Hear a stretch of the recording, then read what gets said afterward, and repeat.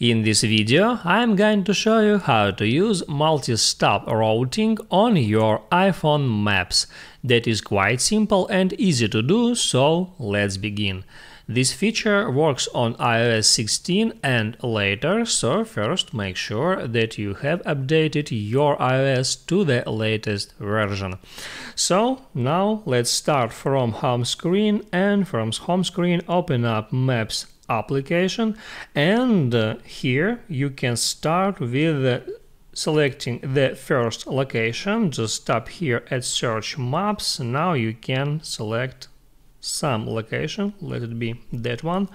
And uh, then tap at drive to make a road between my location and the location that you have just added. And now, if you want to add some more points of your road on the map, all you have to do is tap here at add stop and there search for any other location. I can select that one.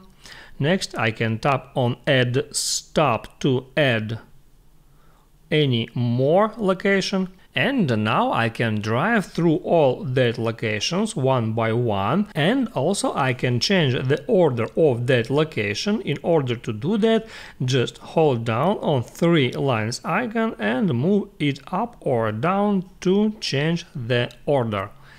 That's it. If this video helped you out, don't forget to like and subscribe.